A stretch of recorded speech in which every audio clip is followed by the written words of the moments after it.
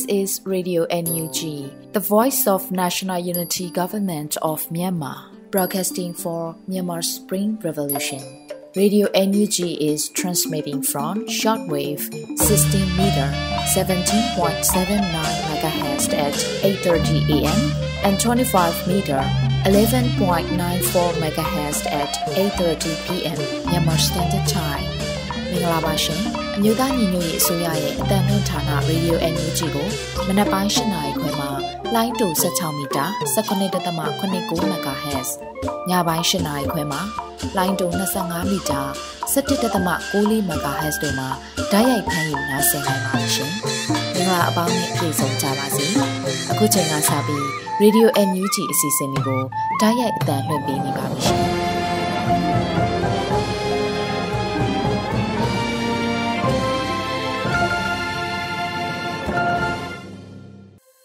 မင်္ဂလာနံနက်ခင်းပါရှင်ရေဒီယို UNG ကိုနားဆင်နေကြတဲ့မြန်မာနိုင်ငံသူနိုင်ငံသားအပေါင်းတဘာဝဘေးဆရာနာရှင်ဘေးတို့ကနေကင်းဝေးပြီးကိုစိတ်နှပါဘေးကင်းလုံခြုံကြပါစေလို့ရေဒီယို UNG အဖွဲ့သားများကဆုတောင်းမေတ္တာပို့သလိုက်ပါတယ်ဒီကနေ့ဩဂုတ်လ14ရက်နေ့ပထမဆုံးအနေနဲ့စီးရဲသတင်းကိုနားဆင်ရမှာဖြစ်ပါတယ်မြို့ဦးနိုင်ကတင်ပြထားပါတယ်ရှင် မင်္ဂလာပါခင်ဗျာအခုချိန်ကစပြီး2024ခုနှစ်ဩဂုတ်လ14ရက်နေ့မနက်ခင်းမှာတင်ပြပေးမယ့် Radio NUG စီးသတင်းများကိုဖတ်ကြားတင်ပြပေးသွားမှာဖြစ်ပါတယ်ခင်ဗျာကျွန်တော်ကတော့ຫນွေဦးနိုင်ပါ အခုပထမဆုံးတစ်ပုတ်အနေနဲ့ Operation Run Khyber Run စကန်သိန်းတိုက်ပွဲအတွင်းစစ်ကောင်စီတပ်သား10ဦးသေဆုံးခဲ့တဲ့တဲ့ရင်ကိုတင်ပြပေးပါမယ်။ Operation Run အမည်ဖြင့်စစ်ကောင်စီရဲ့ Khyber Run တပ်စခန်းကိုတိုက်ခိုက်သိမ်းပိုက်ခဲ့ရမှာစစ်ကောင်စီတပ်သား10ဦးသေဆုံးခဲ့ပြီးတော့လက်နက်ခဲယမ်းများသိမ်းပိုက်ရရှိခဲ့တယ်လို့ Chinland Defense Force ဟာခါမှသတင်းထုတ်ပြန်ထားပါတယ်။ဩဂုတ်လ12ရက်နေ့က Chinland Defense Force ဟာခါနဲ့ Chin National Army တို့ပူးပေါင်းဖော်ဆောင်ခဲ့တဲ့အဆိုပါစခန်းသိမ်းတိုက်ပွဲအတွင်းစစ်ကောင်စီတပ်သား10ဦးခန့်သေဆုံးခဲ့ပြီးတော့အများအပြားဒဏ်ရာရခဲ့တယ်လို့ဆိုပါတယ်။ဒါအပြင်အဆိုပါတိုက်ပွဲအတွင်း60မမတက်လက် ME2 ၄လက် ME3 2လက် Machine Gun တက်လက်ကြီးပေါင်း25ခုမိုင်းနဲ့ခဲယမ်းများကိုလည်းတင်စီရရှိခဲ့တယ်လို့သိရပါတယ်ခင်ဗျာ။ ဆက်လက်ပြီးပွဲကင်းရွာမှပြူရွာကိုဝင်ရောက်ပစ်ခတ်ရှင်းလင်းခဲ့ရမှာပြူ6ဦးသေဆုံးပြီးတော့လက်နက်3လက်သိမ်းပိုက်ရရှိတဲ့တဲ့ရင်ကိုတင်ပြပေးပါမယ်။မကွေးတိုင်းကြောက်ပတောင်းမြို့နယ်ပွေးကျစ်တိုက်နယ်ပွဲကင်းရွာမှပြူစိုးတီကျေးရွာကိုဝင်ရောက်ပစ်ခတ်ရှင်းလင်းခဲ့ရမှာပြူစိုးတီ6ဦးသေဆုံးခဲ့တယ်လို့ပကံဘူချို PDF ကထုတ်ပြန်ထားပါတယ်။ဩဂုတ်လ12ရက်နေ့နေ့လယ်2နာရီခွဲအချိန်မှာပွဲကင်းရွာမှပြူရွာကိုတော်လိုင်းပူပေါင်းတပ်ဖွဲ့ကဝင်ရောက်ပစ်ခတ်ရှင်းလင်းခဲ့တာဖြစ်ပြီးတော့ပြူစိုးတီ6ဦးမျက်မြင်သေဆုံးခဲ့တယ်လို့ဆိုပါတယ်။ဒါအပြင်တိုက်ပွဲအတွင်းကားပိုင်တနက်2လက်တထောင်တူ shotgun တစ်လက်ကားပိုင်ကြီး68တောင်ကားပိုင်ကြီးပေါက်3ခုနဲ့လက်ပစ်ဘုံတစ်လုံးတို့ကိုတင်ပိုက်ရရှိခဲ့တယ်လို့သိရပါတယ်။အဆိုပါတိုက်ခိုက်မှုကိုဗကန်ဘူချူ PDF မကွေးခရိုင်ပကဖအထူးတိုက်ခိုက်ရေးတပ်ဖွဲ့မကွေးတိုင်းပကဖအလာဝကမျိုးပြပျောက်ကြားတပ်ဖွဲ့အုပ် OUG မျိုးပြပျောက်ကြားတပ်ဖွဲ့6 Revolution Army 6ပကဖပခုတ်ကူမျိုးနယ်ပကဖကြောင်ပတောင် Special Defense Force 6 Guerrilla Force YRF ပေါပကဖဒေါ်စည်းကွက်မျိုးပြပျောက်ကြားတပ်ဖွဲ့ People Defense Force တခင်ဖူးလာကြီးတက်ခွဲ6မြိုင်ပါကဖာတို့ကပူးပေါင်းဆောင်ရွက်ခဲ့တာဖြစ်ပါတယ်။တိုက်ပွဲကြာချိန်တနအီကန်ကြာမြင့်ခဲ့ပြီးပြည်သူ့ကာကွယ်ရေးရဲဘော်2ဦးမစိုးရိမ်ရဒဏ်ရာအနှဲငယ်ရရှိခဲ့ကကြံရဲဘော်များအထီးခိုက်မရှိပြန်ဆုတ်ခွာနိုင်ခဲ့တယ်လို့သိရပါတယ်ခင်ဗျာ။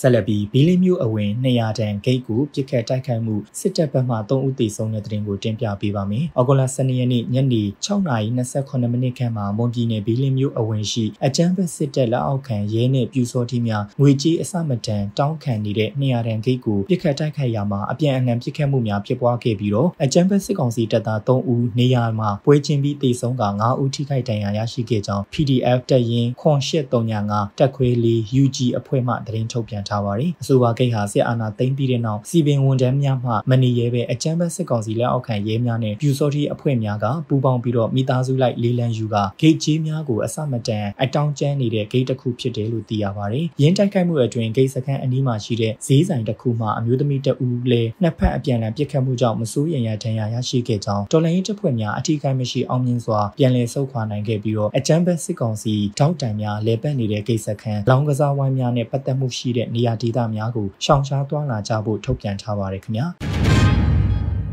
ဆက်လက်ပြီးမုံရွာအဝင်မအူဂိတ်စစ်ကောင်စီတပ်ဖွဲ့မှလက်နက်ကြီးပစ်ခတ်မှုကြောင့်ပြည်သူ22ဦးထိမှန်ပြီး17ဦးသေဆုံးတဲ့တဲ့တဲ့ကိုတင်ပြပေးပါမယ်။ဩဂုတ်လ23ရက်နေ့မနက်10:00နာရီအချိန်ကမှမုံရွာမြို့အဝင်မအူဂိမ်းမှာ60မမလက်နက်ကြီးတစ်လုံးပစ်ခတ်မှုကြောင့်မုံရွာအမြင့်လမ်းဘေးထနောင်းတောတောင်ရွာရှိဈေးတန်းအလဲသို့ကြားရောက်ခဲ့ပြီးတော့ပြည်သူကြား9ဦးမ16ဦးစုစုပေါင်း22ဦးလက်နက်ကြီးအစများထိမှန်ခဲ့ကြောင်းမုံရွာအမြင့်လမ်းသတင်းမှန်ပြန်ကြားရေးကသတင်းထုတ်ပြန်ထားပါတယ်။အဆိုပါလက်နက်ကြီးတန်ကြောင့်အမျိုးသား3ဦးအမျိုးသမီး8ဦးစုစုပေါင်း17ဦးအစုလိုက်အပြုံလိုက်တေဆုံးခဲ့ရတယ်လို့သိရပါတယ်။နေ့လယ်12နာရီခန့်မှာလေလေတော်ကြီးရွာဘက်ကိုမအူဂိမ်းမှပြစ်လွတ်လိုက်တဲ့လက်နက်ကြီးကြားရောက်ပေါက်ကွဲမှုကြောင့်ပြည်သူ2ဦးထိခိုက်ဒဏ်ရာရရှိခဲ့ပြီးတော့နွားတစ်ကောင်တေဆုံးခဲ့ရကြောင်းဖော်ပြထားပါတယ်။အော်ဂုလ10ရက်နေ့နဲ့17ရက်နေ့မှာလည်းမအူစခန်းဂိတ်မှာလက်နက်ကြီးပစ်ခတ်မှုကြောင့်ပြည်သူ10ဦးထိမှန်ခဲ့ပြီးတော့2ဦးတေဆုံးခဲ့တယ်လို့သိရပါတယ်ခင်ဗျာ။ ဆက်လက်ပြီးနပ်ဆန်မြို့တွင်းကိုစစ်ကောင်စီကဘုံကျဲတိုက်ခိုက်ခဲ့တာကြောင့်အရက်သားတအုပ်တေဆုံးတဲ့တဲ့ရင်ကိုတင်ပြပေးပါမယ်။ရှမ်းပြည်နယ်မြောက်ပိုင်း TNL တပ်မဟာနှစ်ကထိန်းချုပ်ထားတဲ့နပ်ဆန်မြို့နယ်ကိုစစ်ကောင်စီကလီကြောင်းမှဘုံကျဲတိုက်ခိုက်ခဲ့လို့အရက်သားတအုပ်တေဆုံးပြီးတော့တအုပ်ဒဏ်ရာရခဲ့တယ်လို့ PSLF TNL ကသတင်းထုတ်ပြန်ထားပါတယ်။အော်ဂိုလာစနေရက်နေ့မှာစစ်ကောင်စီကနပ်ဆန်မြို့ရှိအရက်သားပြည်သူများကိုဥတီပြီးတော့ည7:37မိနစ်မှာတစ်ကြိမ်7:45မိနစ်မှာတစ်ကြိမ်7:57မိနစ်မှာတစ်ကြိမ်စုစုပေါင်း3ကြိမ်လာရောက်ပြီးတော့ဘုံ6လုံးကျဲချခဲ့တာလို့ဆိုပါတယ်။အဲဒီလိုဘုံကျဲချတိုက်ခိုက်မှုကြောင့်နမ်ဆန်မြို့မြို့လေရက်ကွက်က EPC ရုံဝင်းအတွင်းကိုကြားရောက်ပေါက်ကွဲခဲ့ပြီးတော့အသက်30အရွယ်အမျိုးသားတဦးတည်ဆုံးခဲ့ကတဦးဒဏ်ရာရခဲ့တယ်လို့သိရပါတယ်။ဒါအပြင် EPC ရုံဝင်းအတွင်းက transformer ဆက်များထိခိုက်ပျက်စီးသွားပြီးတော့အနီးပတ်ဝန်းကျင်မှာရှိတဲ့မြို့မှဂိုင်းကျုပ်ကျောင်းနဲ့ဒေသခံနေအိမ်၅လုံးလည်းထိခိုက်ပျက်စီးခဲ့တယ်လို့ဖော်ပြထားပါတယ်။ပြီးခဲ့တဲ့ဩဂုတ်လ6ရက်နေ့ကလည်း PSLF TNL အုပ်ချုပ်တဲ့ကုတ်ခိုင်မြို့ကိုစစ်ကောင်စီတပ်ကလေကြောင်းကနေဘုံကျဲတိုက်ခိုက်ခဲ့တာကြောင့်ဒေသခံ6ဦးသေဆုံးက10ဦးထိခိုက်ဒဏ်ရာရရှိခဲ့ပြီးတော့နေအိမ်နဲ့ဆိုင်ကန်းပေါင်း400ကျော်မိလောင်ပျက်စီးခဲ့ပါသေးတယ်ခင်ဗျာ ဆက်လက်ပြီး TNL နဲ့တိုက်ပွဲဖြစ်ပွားနေတဲ့နောင်ချိုတီဘောနဲ့မန်တုံမြို့နယ်တို့မှာစစ်ကောင်စီကတရက်အတွင်း26ကြိမ်လေကြောင်းတိုက်ခိုက်မှုပြုလုပ်ခဲ့တဲ့တဲ့ရင်ကိုတင်ပြပေးပါမယ်။တဆေ29စစ်စင်ရဲ့အပိုင်း2ရက်90မြောက်ဩဂုတ်လ23ရက်နေ့မှာရှမ်းပြည်နယ်မြောက်ပိုင်းနောင်ချိုနဲ့တီဘောမြို့နယ်များမှာတိုက်ပွဲများဆက်လက်ဖြစ်ပွားနေပြီးတော့စစ်ကောင်စီကတရက်အတွင်း26ကြိမ်လေကြောင်းသုံးတိုက်ခိုက်ခဲ့တယ်လို့ PSLF TNL ကသတင်းထုတ်ပြန်ထားပါတယ်။ TNL တပ်မဟာ2နယ်မြေနောင်ချိုမြို့နယ်နောင်လင်ကြီးရွာအနီးမှာစစ်ကောင်စီရဲ့တပ်မ69လက်အောက်ခံခမရ332အရှိမြောက်တိုင်းစစ်ဌာနချုပ်လက်အောက်ခံခမရ325နဲ့အလဲပိုင်းတိုင်းစစ်ဌာနချုပ်လက်အောက်ခံခမရ336တို့နဲ့တိုက်ပွဲဖြစ်ပွားခဲ့တယ်လို့ TNL ကဆိုထားပါတယ်။အဆိုပါတိုက်ပွဲများအတွင်းကိုစစ်ကောင်စီက Jet Fighter ဖြစ်တဲ့ကြိမ် White Trail ဖြစ်စေချိန်စုစုပေါင်းဘုံသီး85လုံးထိလာရောက်ကျဲချခဲ့တယ်လို့ဖော်ပြထားပါတယ်။အလားတူတီဘောမျိုးအခြေဆိုင်ခလာရ23တပ်စခန်းနေရာမှာလည်းတိုက်ပွဲဆက်လက်ဖြစ်ပွားနေပြီးတော့စစ်ကောင်စီက Jet Fighter ဖြစ်တဲ့ကြိမ် White Trail ဖြစ်8ကြိမ်စုစုပေါင်းဘုံသီး44လုံးလာရောက်ကြေးချခဲ့တယ်လို့သိရပါတယ်။ဒါအပြင်တိုက်ပွဲဖြစ်ပွားခြင်းမရှိတဲ့မန်တုံမြို့နယ်မန်စာကြီးရွာကိုလည်းစစ်ကောင်စီက Jet Fighter ဖြင့်ဖျက်အားပြင်းပေါင်900ဘုံသီးတစ်လုံးအပါအဝင်ဘုံ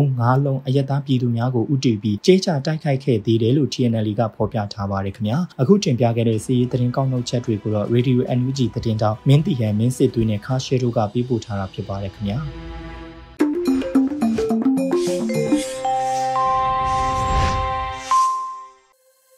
Radio အန်ဂျီရဲ့မနက်ခင်းအစီအစဉ်လေးကိုနားဆင်နေရတာဖြစ်ပါတယ်။အခုဆက်လက်ပြီးနောက်ဆုံးရပြည်တွင်းသတင်းများကိုတော့မင်းယူကဖတ်ကြားတင်ပြပေးမှာဖြစ်ပါတယ်ရှင်။မင်္ဂလာပါခင်ဗျာ2024ခုနှစ်ဩဂုတ်လ14ရက်မနက်ပိုင်းမှာတင်ပြပေးမဲ့ Radio NUG ပြည်တွင်းသတင်းများကိုဖတ်ကြားတင်ပြပေးတော့မှာဖြစ်ပါတယ်ကျွန်တော်မင်းယူပါ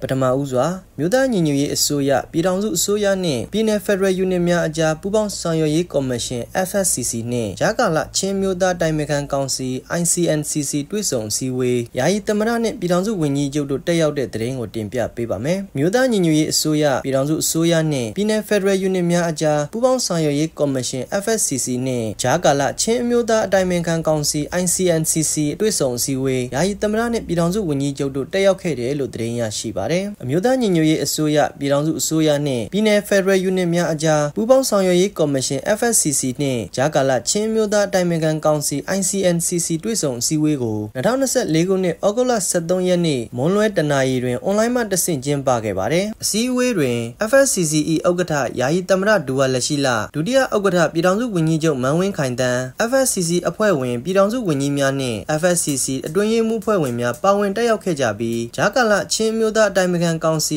ICNCC မှအလဲကျတဘာပတိဒေါက်တာကန်တွန်လင်းနှင့်အဖွဲ့ဝင်များပါဝင်တက်ရောက်ခဲ့ကြပါတယ်။ FSCC နှင့် ICNCC မှတာဝန်ရှိသူများကသက်ဆိုင်ရာအဖွဲ့အစည်း၏ရည်ရွယ်ချက်နှင့်လုပ်ငန်းဆောင်ရွက်မှုများကိုရှင်းလင်းတင်ပြကြပြီးအပြန်အလှန်မေးမြန်းဆွေးနွေးမှုများပြုလုပ်ခဲ့ပြီးနောက်ရှေ့ဆက်တွေ့ဆုံမှုပူးပေါင်းဆောင်ရွက်မှုများပြုလုပ်ကြရန်သဘောထားစုစည်းခဲ့ကြတယ်လို့သတင်းရရှိပါတယ်။ ဒုတိယသတင်းအနေဖြင့်မကွေး Federal Unit လွှတ်တော်နှင့်စကိုင်း Federal Unit လွှတ်တော်တို့တွေ့ဆုံဆွေးနွေးခဲ့တဲ့သတင်းကိုတင်ပြပေးပါမယ်။မကွေး Federal Unit လွှတ်တော်နှင့်စကိုင်း Federal Unit လွှတ်တော်တို့တွေ့ဆုံဆွေးနွေးခဲ့တယ်လို့သတင်းရရှိပါရယ်။မကွေး Federal Unit လွှတ်တော်နှင့်စကိုင်း Federal Unit လွှတ်တော်တို့တွေ့ဆုံဆွေးနွေးပွဲကိုဩဂုတ်လ23ရက်အင်္ဂါနေ့15နာရီအချိန်တွင်ကျင်းပခဲ့ပါတယ်။ခမ်းနားသို့လွှတ်တော်နှစ်ရက်မှလွှတ်တော်ဥက္ကဋ္ဌဒုတိယဥက္ကဋ္ဌများနှင့်လွှတ်တော်ရေးရာကော်မတီများမှတာဝန်ရှိလွှတ်တော်ကိုယ်စားလှယ်များတက်ရောက်ခဲ့ကြပါတယ်။ထို့နောက်ဂျာကာလာ Federal Unit ဆိုင်ရာလုပ်ငန်းစဉ်များနှင့်င့်လွှတ်တော်ရေးရလုပ်ငန်းစဉ်များအားအပြန်အလှန်ဆွေးနွေးအကြံပြုခြင်းများလှုပ်ဆောင်ခဲ့ပြီး19နာရီအချိန်တွင်တွေ့ဆုံဆွေးနွေးပွဲအားအောင်မြင်စွာရုပ်သိမ်းခဲ့တယ်လို့စကိုင်းဖက်ဒရယ်ယူနစ်လွှတ်တော်ကတဆင့်သတင်းရရှိပါသည်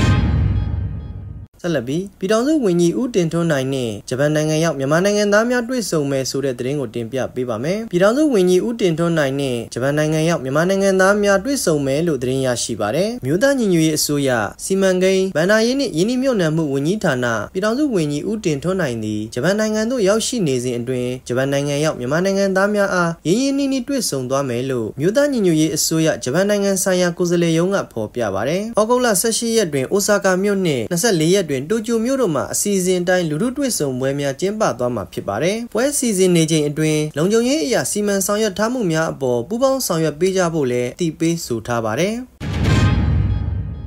ဆက်လက်ပြီးနွေဦးတော်လိုင်းအောင်ပွဲတွေကတလန်းချင်းစီလာနေပြီလို့ချက်သမရနိုင်ငံ NUG ကိုယ်စားလှယ်ဆိုတဲ့သတင်းကိုတင်ပြပေးပါမယ်။နွေဦးတော်လိုင်းအောင်ပွဲတွေကတလန်းချင်းစီလာနေပြီလို့ချက်သမရနိုင်ငံ NUG ကိုယ်စားလှယ်ဦးလင်းတန်းကဆိုပါတယ်။ဩဂုတ်လ23ရက်ဆိုရှယ်မီဒီယာမှာချက်သမရနိုင်ငံ NUG ကိုယ်စားလှယ်ဦးလင်းတန်းကဆိုထားပါတယ်။နိုင်ငံရေးဆိုတာစွန့်စားမှုအကြီးဆုံးဂိမ်းတစ်ခုပဲ။ကောင်းမွန်တဲ့နိုင်ငံရေးဝန်းကျင်တစ်ခုကိုတည်ဆောက်နိုင်ဖို့မျိုးဆက်အလိုက်အသက်တွေဘဝတွေစီးစိမ်တွေနဲ့ယဉ်နီးကြရတာ။ခရီးမဆုံးခင်ဘဝဆုံးသွားသူတွေတက်ဆုံးသွားသူတွေစီးစိမ်ဆုံးရှုံးသွားသူတွေနဲ့ပေးဆက်ရင်းနှီးနေကြရတာခီးဆုံးထိဆက်သွားနေသူတွေလည်းဒုနဲ့ဒေးဒါကြောင့်အောင်ပွဲတွေကတလန်းချင်းကိုစီလာနေပြီတခုပဲညီညွတ်ရေးတည်တာဗရာနာလို့ဆိုပါတယ်လက်ရှိမှာတော်လိုင်းအင်အားစုများဟာမြို့သိမ်းတိုက်ပွဲများကိုဇက်တိုက်ဆင်နွှဲလျက်ရှိနေပါတယ် ဆက်လက်ပြီးမြင်းညံမြို့ရှိတဘာဝဓာတ်အားပေးစက်ရုံနှစ်ခုတို့အရေးပေါ်ရပ်တန့်လိုက်တာကြောင့်ယာယီဓာတ်အားပြတ်တောက်မှုတွေရှိနိုင်တယ်ဆိုတဲ့သတင်းကိုတင်ပြပေးပါမယ်။မန္တလေးတိုင်းမြင်းညံမှာတော်လိုင်းအင်အားစုတွေနဲ့စစ်ကောင်စီတပ်တို့တိုက်ပွဲပြင်းထန်လာချိန်နိုင်ငံခြားယင်းနှိမ့်မြုံနယ်မှုနဲ့လဲပတ်နေတဲ့ Vipawa တဘာဝဓာတ်အားပေးစက်ရုံနဲ့ Samcrop တဘာဝဓာတ်အားပေးစက်ရုံတို့ဩဂုတ်လ12ရက်ကတပြိုင်တည်းအရေးပေါ်ရပ်တန့်လိုက်တာကြောင့်ယာယီဓာတ်အားပြတ်တောက်မှုတွေရှိနိုင်တယ်လို့ရန်ကုန်လျှက်စစ်ဓာတ်အားပေး Corporation YESE ကကြေညာထားပါတယ်။စက်ရုံနှစ်ရုံအရေးပေါ်ရပ်တန့်ခဲ့ရတဲ့အတွက်ဓာတ်အားစနစ်ထုတ်လုပ်ပို့လွှတ်မှု4920မဂါဝတ်နာရီနီးပါးလျော့နေသွားတယ်လို့ YESE ရဲ့ကြေညာချက်မှာဖော်ပြထားပါတယ်။ရန်ကုန်တိုင်းဒေသကြီးအတွင်းရှိမြို့နယ်တချို့မှာသုံးဆွဲဝန်အားထက်ရှော့ချပြီးဓာတ်အားဖြန့်ဖြူးပေးတာစက်မှုဇုံတွေကိုညပိုင်းမှာဓာတ်အားရှော့ချဖြန့်ဖြူးပေးတာတွေကိုဆောင်ရွက်နေသလိုယာယီဓာတ်အားပြတ်တောက်မှုတွေရှိနိုင်မယ်ဆိုပြီးအသိပေးထားပါတယ်။စင်ကာပူကုမ္ပဏီ Samcrop Industry ကလျှက်စစ်ဓာတ်အား225မေဂါဝတ်ထုတ်လုပ်နေတဲ့သဘာဝဓာတ်ငွေသုံးစက်ရုံလုပ်ငန်းတွေကိုနယ်မြေလုံခြုံရေးအခြေအနေအရဆိုင်းငံ့လိုက်ပြီးလုံခြုံမှုရှိပြီးတင့်တော်တဲ့အချိန်မှာလဲပတ်မှာဖြစ်ကြောင်းကြေညာချက်ထုတ်ခဲ့ပါတယ်။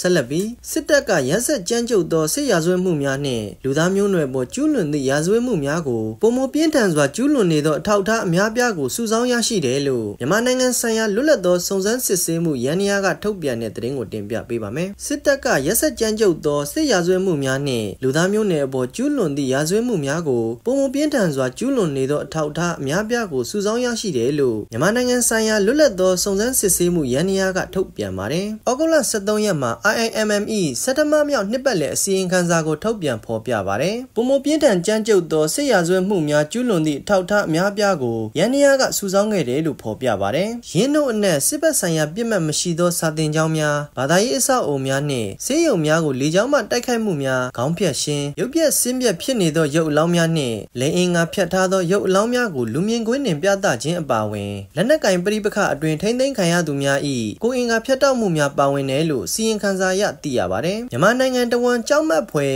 ရက်စက်ကြမ်းကြုတ်မှုတွေနဲ့လူမဆန်တဲ့အကြမ်းဖက်မှုတွေကိုဖော်ပြနေတဲ့အထောက်အထားအများပြားကိုကျွန်တော်တို့စုဆောင်းထားပါတယ်အယက်သားပြည်သူတွေကိုအပြစ်ပေးဖို့နဲ့ကြောက်လန့်စေဖို့ရည်ရွယ်ပြီးဒီရာဇဝတ်မှုတွေကိုကျူးလွန်တာဖြစ်တယ်လို့ရန်နီယာ၏အကြီးအကဲနီကိုလတ်ခွန်ဂျန်ကဆိုထားပါတယ်စီရင်ခံစာပါတွေ့ရှိချက်များဟာမျက်မြင်သက်သေများ၏ထွက်ဆိုချက်400ကျော်အပါအဝင်သတင်းရင်းမြစ်900ကျော်ထံမှစုဆောင်းရရှိသောအချက်အလက်နှင့်ထောက်ထားများကိုအခြေခံထားခြင်းဖြစ်ပြီး၎င်းတို့အနက်ဓာတ်ပုံများဗီဒီယိုများအသံဖိုင်များစာရွက်စာတမ်းများမြေပုံများဂျိုဒုပုံရိပ်များဆိုရှယ်မီဒီယာပို့စ်များနှင့်မှုကင်းစေးပညာဆိုင်ရာအထောက်အထားများပါဝင်တယ်လို့မြန်မာနိုင်ငံဆိုင်ရာလွတ်လပ်သောစုံစမ်းစစ်ဆေးမှုရန်ရာကဖော်ပြပါတယ်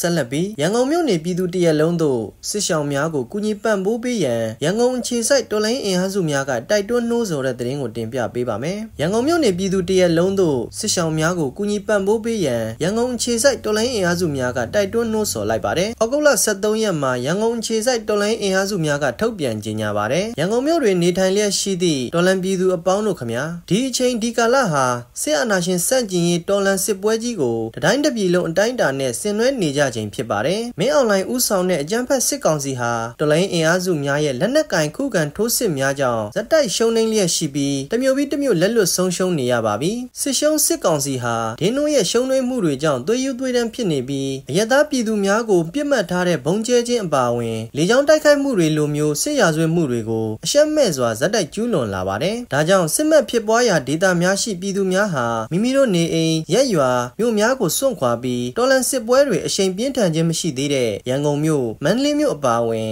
စစ်ပွဲလွတ်ရာဒေသများကိုခက်ခက်ခဲခဲနဲ့စစ်ရှောင်နေကြရပါတယ်လို့ဖော်ပြပါတယ်။ရန်ကုန်ပြည်သူလူထုအနေနဲ့လည်းရန်ကုန်မြို့ကိုရောက်ရှိလာတဲ့ညီနောင်သားချင်းစစ်ဘေးရှောင်ပြည်သူများကိုအကောင်းဆုံးဝိုင်းဝန်းကူညီဖေးမှစောင့်ရှောက်ကြဖို့နှိုးဆော်ခြင်းတယ်လို့ဆိုပါတယ်။ရန်ကုန်မြို့ရှိရက်ကွက်မြို့နယ်များအတွင်းသို့အိမ်နီးချင်းများအဖြစ်ပြောင်းရွှေ့နေထိုင်လာတဲ့စစ်ဘေးရှောင်ပြည်သူများကိုနှွေးထွေးပြူငါစွာကြိုးစိုးဆက်ဆံပေးခြင်းအိမ်ငါးကများအဆောင်ငါးရန်ကများကိုဈေးနှုန်းလျှော့၍ငှားရမ်းပေးခြင်းမတန်တဆဈေးနှုန်းမြင့်ခြင်းများကိုကန့်ကွက်ရှုံချခြင်းစသဖြင့်ပါဝင်လှုပ်ဆောင်ပေးရန်ဆိုထားပါတယ်။ ဆက်လက်ပြီးစစ်ကောင်စီ၏လေရင်စီဖျက်တောက်ရေးလှုပ်ရှားမှုအတွက်လက်ကမ်းစာဆောင်များထိုင်းနိုင်ငံဘန်ကောက်မြို့တွင်မြန်မာအင်အားစုများဖြန့်ဝေတဲ့သတင်းကိုတင်ပြပေးပါမယ်။စစ်ကောင်စီ၏လေရင်စီဖျက်တောက်ရေးလှုပ်ရှားမှုအတွက်လက်ကမ်းစာဆောင်များထိုင်းနိုင်ငံဘန်ကောက်မြို့တွင်မြန်မာအင်အားစုများဖြန့်ဝေခဲ့ပါတယ်။ဩဂုတ်လ23ရက်မှာသွေးစွန်းငွေဖျက်တောက်ရေးကမ်ပိန်းအဖွဲ့ကဖော်ပြပါတယ်။ဘန်ကောက်မြို့တွင်ပြည်ပဆိုင်ရာဗကူတိုင်းအသင်းထိုင်လန်မှကျင်းပသောတော်လိုင်းအသိပညာပေးနှင့်စာပေဟောပြောပွဲတွင်လေရင်စီဖျက်တောက်ရေးလှုပ်ရှားမှုတစ်ခုဖြစ်သောအွန်လိုင်းလက်မှတ်ထိုးလှုပ်ရှားမှုအားလူအများပါဝင်နိုင်ရန်လက်ကမ်းစာဆောင်များကိုလွန်လိုင်းအင်အားစုများမှရောက်ရှိလာသူများအားမျှဝေခဲ့တယ်လို့ဆိုပါတယ်။မြေပြင်တွင်တိုက်တိုင်းရှုံးအထိနာနေသောစစ်အုပ်စုဟာလေကြောင်းတိုက်ခိုက်မှုတစ်ခုကိုသာအားပြုနေရခြင်းဖြစ်ပါတယ်။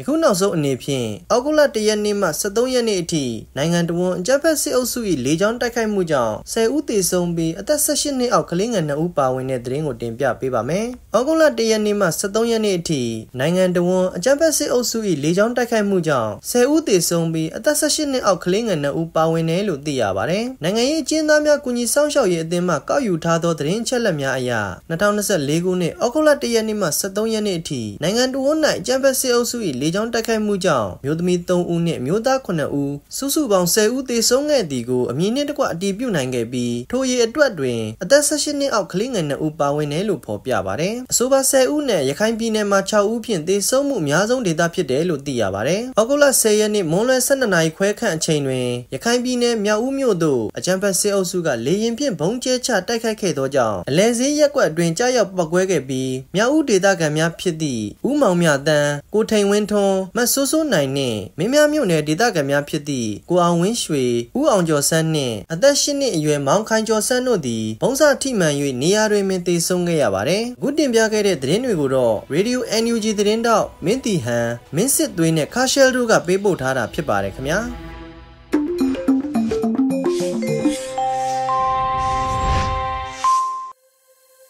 ရေဒီယိုအန်ယူဂျီရဲ့မနက်ခင်းအစီအစဉ်လေးကိုဆက်လက်အသံလွှင့်ပေးနေပါတယ်။အခုဆက်လက်ပြီးမောင်လေးရေးသားထားပြီးတော့အနွေဦးမိုးခန်းစားရွတ်ဖတ်ထားတဲ့ကြပြရဲ့မြေကတပြေနဲ့ရနံ့ကုထုံလို့အမည်ရပါတယ်ရှင်။တပြေနဲ့ရနံ့ကုထုံတပြေညိုကို လေချိုးတဲ့ကြည်ညိုလိုက်ပြီးတပြေနီကို လေပြင်းနဲ့ဥတင်ချီတလိုက်ပါတဲ့တပြေညိုတပေနီတွေနဲ့ဆိုတော့ ပရံများရောင်ဝါညွန့်တပြေဦးတွေလုတ်ပဲရင်ကျူးလိုက်ပေရဲ့တပြေရွက်ရီတပြေရွက်ကိုရေးလို့အရွက်တစ်ထောင်ပြည့်သွားတဲ့နောက်တပြေရွက်ရီတပြေရွက်ရီတပြေရွက်ကိုရေးလို့တပြေနီညွန့်တွေတစ်ထောင်ထောင်နဲ့အရွယ်ချီတက်တက်ပန်းပတ်ကိုလှမ်းလိုက်တဲ့ဆန်းအောင်ပါစေတပြေပန်းနဲ့ရေချမ်းကိုလောင်းကြတာပါလက်ထဲကတပြေရွက်ရရနဲ့ဟာကျွန်နန့်ကိုဆင်အောင်လွှမ်းလိုက်မယ် မောင်လင်းရဲ့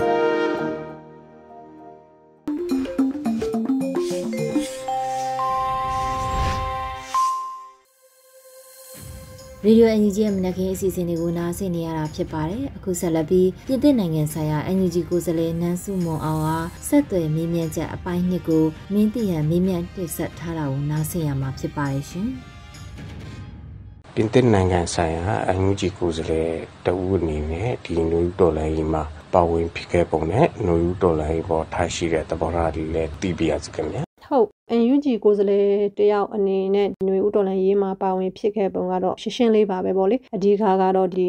2021အာနာသိမ့်မှုကိုလုံးဝလက်မခံနိုင်တာကနေစတာဗောလေအဓိကတော့ဒါကိုတိုင်းကလည်း2020ရွေးကောက်ပွဲမှာဒီမှာရှိတဲ့တန်ယုံကနေကိုတိုင်းမဲတော့ပေးခဲ့တာဖြစ်တယ်ဗောနော်ကိုက NLD ကိုမဲပေးခဲ့တယ်အမေစုကိုယာနှုံးပြည့်ယုံကြည်တယ်ဆိုတော့ဒါမဲပေးတဲ့လူတွေတဲ့အမြဲအများစုကလည်းဒါဘသူ့ကိုမဲပေးလဲပဲပါတီကိုမဲပေးလာမဲပေးတာလဲဆိုတာလဲပြောကြတော့သိတယ်ဗောလေအဲ့လိုဆိုတော့2021အာနာသိမ့်မှုကြီးကလုံးဝလက်ခံနိုင်စရာမရှိဘူးစကားစကားပြောနေတဲ့ဒီမဲမတမာမှုဖြစ်တယ်ဆိုတာလဲလုံးဝမဖြစ်နိုင်ဘူးဆိုတာလူတိုင်းလဲသိနေတဲ့အရာဗောလေအဲ့လိုဆိုတော့ကျမအနေနဲ့လဲဒီဒါကိုလုံးဝလက်မခံနိုင်တဲ့အတွက်ကြောင့်မို့ကျမတို့က21ရာစုမှာကျမတို့ကဟိုအရင် ခေတ်အဆက်ဆက်ပေါ့လေဒီစစ်အာဏာရှင်စနစ်အဆက်ဆက်တွေမှာပြန်မသွားခြင်းတဲ့အတွက်ကြောင့်မို့ပေါ့လေအဓိကတော့ဒါနောက်အနာဂတ်နောက်လာမဲ့လူငယ်တွေရဲ့အနာဂတ်အတွက်ပေါ့လေအဓိကနောက်မျိုးဆက်တွေမှာဒီအမောင်စနစ်မောင်ခေတ်အောက်မှာမနေစေချင်တာပေါ့လေတများနိုင်ငံနီးတူအိမ်နီးချင်းနိုင်ငံတွေနီးတူလွတ်လပ်ပြီးတရားမျှတတဲ့နိုင်ငံမှာ ပြီးလို့ရှိရင်ဒီမိုကရေစီအပြည့်အဝရှိတဲ့အမိုးအောက်မှာနေစေချင်တာပေါ့လေအဲအဲ့လိုဆိုတော့ဒါတရားမျှတမှုအတွက်အဓိကတော့ကိုကဟိုဓမ္မဘက်မှာရှောက်ရမယ်ဆိုတဲ့အသည့်ကလည်းဒါကိုယ့်ရဲ့စံတန်ဖိုးဖြစ်နေတဲ့အခါကျတော့ဒီဓမ္မနဲ့အမှန်တရားဘက်မှာပဲရက်ရင်းနေပေါ့လေမြင်းမြင်းမြန်ရက်ရင်းနေမှຫນွေဦးတော်လန်ရေးမှာရရပါခဲ့ပြီးတော့မှရရလှုပ်ခဲ့ပြီးတော့မှဒီကိုယ်စလဲတယောက်အနေနဲ့လည်းခံယူချက်နဲ့ပဲလှုပ်ဖြစ်ခဲ့တာပေါ့လေကျမအနေနဲ့ကတော့ဒါဒီတော်လန်ရေးမတိုင်ခင်လဲကျမအနေနဲ့ကတော့ဒါကို background ကပညာရေး background ကနေလာတယ်တခြားနိုင်ငံရေး background ကနေလာတာမဟုတ်တဲ့အတွက်ကြောင့်မို့ဒီနိုင်ငံရေးတန်တမန်ရေးနဲ့လည်းအလံဝေးတဲ့လူဖြစ်တယ်ပေါ့လေဒါပေမဲ့လည်းကျမအခုဒီနှစ်နှစ်ကျော်ကာလမှာကိုရတဲ့ဖက်ရတဲ့နီလန်ကနေလှုပ်ရင်းနဲ့ပဲပေါ့လေကိုလှုပ်နေတဲ့ဟာတွေအကောင်းဆုံးဖြစ်ဖို့ပဲအဓိကတော့အကောင်းဆုံးဆိုတဲ့နေရာမှာတော်လန်ရေးပေါ့လေຫນွေဦးတော်လန်ရေးအတွက်အသုံးဝင်အကျိုးရှိတဲ့ရွေကရရလှုပ်မယ်ဆိုတဲ့ခံယူချက်နဲ့ပဲကျမဒီဒီဒီကိုယ်စလဲတာဝန်ကိုလည်းအဲယူဖြစ်ခဲ့တာဖြစ်ပါတယ် နောက်ပြီးတော့လည်းဒီຫນွေဦးတော်လှန်ရေးပေါ်ထားတဲ့သဘောထားလည်းထိုနည်း၎င်းပဲပေါ့လေຫນွေဦးတော်လှန်ရေးမ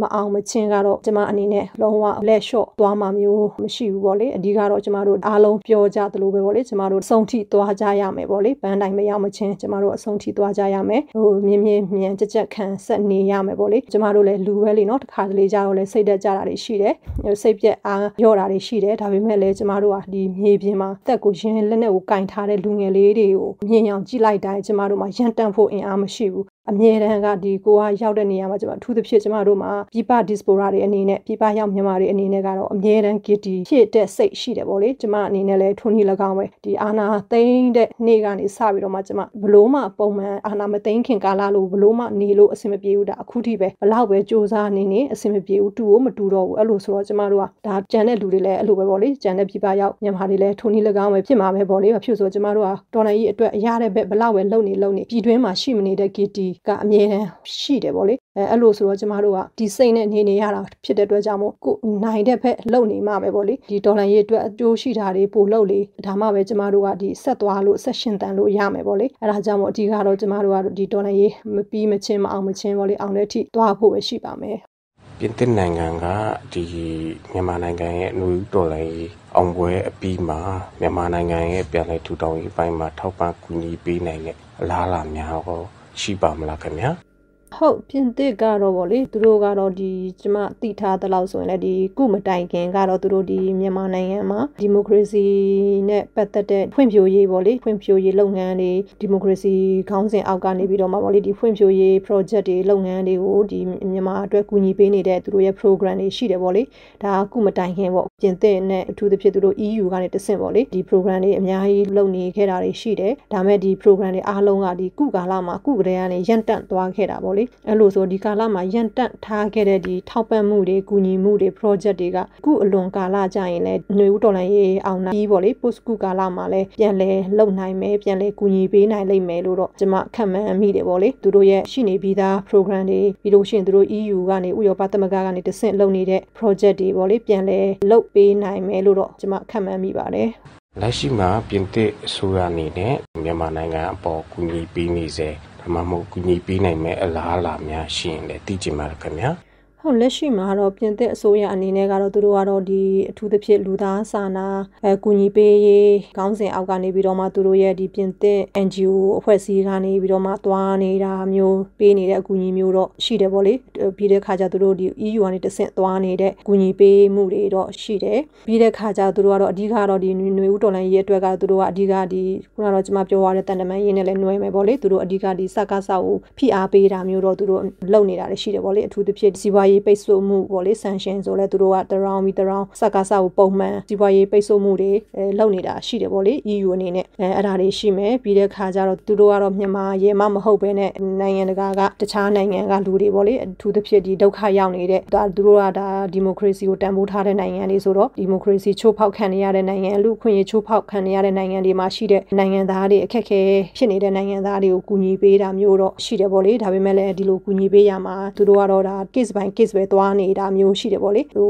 ရေဘူးရအဖြစ်ပမာဏဘလောက်ဘလောက်ကူညီပေးနေတာမဟုတ်ပဲနဲ့အရေးအတွက်ဘလောက်ဘလောက်ကူညီပေးနေတာမဟုတ်ပဲနဲ့သူတို့က case by case ပဲတေချာစီစစ်ပြီးမှလေသွားနေတာမျိုးကူညီပေးနေတာမျိုးတော့လည်းရှိတယ်လို့ပြောလို့ရတယ်ဒေါ်လာရင်းနဲ့ပတ်သက်လို့ဖြည့်ဆွတ်ပြောချင်တယ်များရှင်းလေပြောပြပါအောင်ခင်ဗျာ ဟုတ်ຫນွေဦးတော်လန်ရေးနဲ့ပတ်သက်လို့ကတော့လေဒီကျမတော့ဒီအားပေးစကားလည်းပြောချင်တယ်ပြပရောက်မြန်မာတွေကိုလည်းအထူးသဖြင့်ပြင်သစ်ရောက်မြန်မာတွေကိုလည်းတိုက်တွန်းချင်တာပေါ့လေအထူးသဖြင့်ကျမတို့ဒါတော်လန်ရေးက3နှစ်ဖြစ်လာတဲ့အခါကျတော့သွေးမအေးသွားကြဖို့ပေါ့လေပြီးတဲ့အခါကျကျမတို့ကမြေပြင်မှာလည်းအခုကဒီအောင်ပွဲတွေကဆက်တိုက်ဖြစ်တယ်ပေါ့လေကျမတို့ကဒီတူမီမရှိခင်လည်းဒီဘာမှမရှိခင်ကတည်းကစခဲ့တဲ့တော်လန်ရေးပေါ့လေ3ရက်ကနေစခဲ့တဲ့တော်လန်ရေးကချင်းပြည်ကဒီတူမီကနေပြီးတော့မှဒီလက်လုတ်တွေနဲ့ပေါ့လေတဆင့်ချင်းတဆင့်နဲ့တက်လာတဲ့ဒီတော်လန်ရေးမှာကျမတို့မှာကျမတို့ပဲရှိတယ်ငါတို့မှာငါတို့ပဲရှိတယ်ဆိုတဲ့တော်လန်ရေးမှာဒီຫນွေဦးတော်လန်ရေးမှာပေါ့လေကျမတို့ကဒီ၃နှစ်မှာကျတော့ရက်လက်တွေကထထင်သာသာလဲမြင်လာရပြီပေါ့လေမြင်ပြင်မှာဆိုရင်လဲကျမတို့စခန်းတွေတိမ့်နိုင်တဲ့အထိပေါ့လေအခုဆိုရင်လဲစစ်ဌာနချုပ်တောင်တိမ့်နိုင်တဲ့အခြေအနေဖြစ်လာတဲ့အချိန်မှာကျမတို့မြေပြင်မှာအောင်ပွဲတွေဆက်တိုက်ဖြစ်နေတဲ့အချိန်မှာကျမတို့အနေနဲ့ဒီပြည်ပ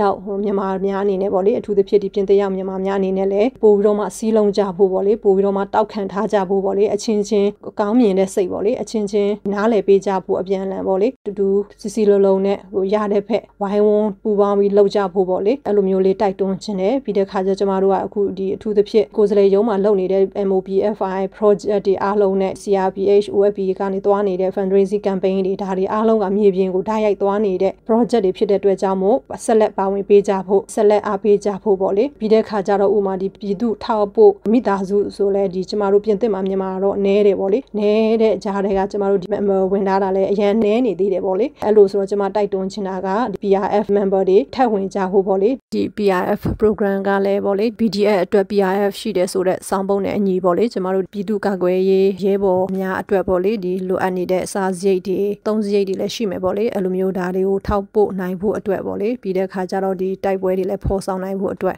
ဒါတွေကပုံမှန် ရန်ပုံငွေရှိနေဖို့လိုတဲ့အတွက်ကြောင့်မို့ DPRF member တိုးလာဖို့ချင်းချင်းလဲတိုက်တွန်းဖို့ကျွန်မအနေနဲ့တိုက်တွန်းလိုပါတယ်ဆက်လက်ပြီးတော့လည်းဒီຫນွေဦးတော်လိုင်းရေးအတွက်ရတဲ့ပဲပါဝင်ပေးဖို့ပေါ့လေသတင်းတွေလည်းမျက်ခြေမပြတ်စောင့်ကြည့်ပေးဖို့ကျွန်မတိုက်တွန်းချင်ပါတယ်အားလုံးကျေးဇူးတင်ပါတယ်ဒီကနေ့ကတော့ဒီညနဲ့ပဲ Radio NUG ရဲ့အစီအစဉ်လေးကိုခਿੱတရနာလိုက်ပါမယ်ရှင် မြန်မာစံတော်ချိန်မနက်၈နာရီခွဲနဲ့ည၈နာရီခွဲအချိန်တွေမှာပြန်လည်ဆုံတွေ့ကြပါစို့ Radio NUG ကိုမနက်ပိုင်း၈နာရီခွဲမှာလိုင်းတူ16မီတာ19.8 MHz ညပိုင်း၈နာရီခွဲမှာလိုင်းတူ25မီတာ17.6 MHz တို့မှာဓာတ်ရိုက်ဖမ်းလို့နိုင်စေနိုင်ပါပြီမြန်မာနိုင်ငံသူနိုင်ငံသားတွေကိုစိတ်နှပြကျမ်းမာချမ်းသာလို့ဘေးကင်းလုံခြုံကြပါစေလို့ Radio NUG အဖွဲ့သူဖွဲ့သားတွေကဆုတောင်းမြတ်တာပို့တာနေရပါတယ်ရှင်။အ မျိုးသားညီညွတ်ရေးအစိုးရရဲ့စက်သွေးရေးသတင်းအချက်အလက်နဲ့လူပညာဝန်ကြီးဌာနကထုတ်လွှင့်နေတဲ့ Radio NUG ဖြစ်ပါတယ်။ San Francisco Bay Area အခြေစိုက်မြန်မာမိသားစုတွေနဲ့နိုင်ငံတကာကစေတနာရှင်လို့အားပေးနေတဲ့ Radio NUG ဖြစ်ပါတယ်။အရေးတော်ပုံအောင်ရမည်